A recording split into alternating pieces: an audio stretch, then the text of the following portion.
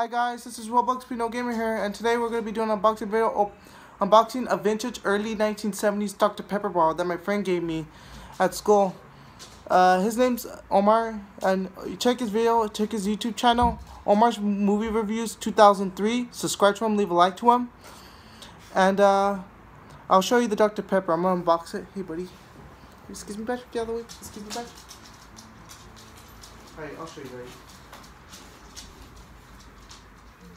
Here it is. So we're gonna open it. Okay, we're gonna open it.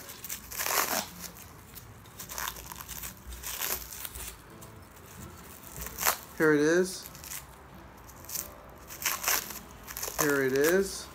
Um, on, guys. On, guys. On, guys. Here you are. One at a time.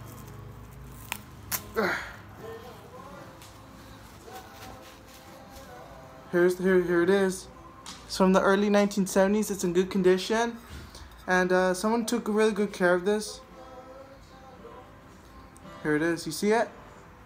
I'm I'm gonna put over there where my phones are, and uh, I, I'm it's for my collection because it's it's a collectibles item.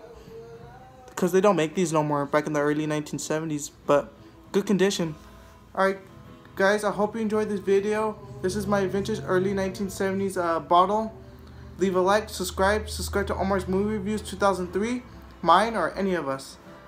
I hope you enjoyed the video. Leave a like, and see you in the next video. Peace.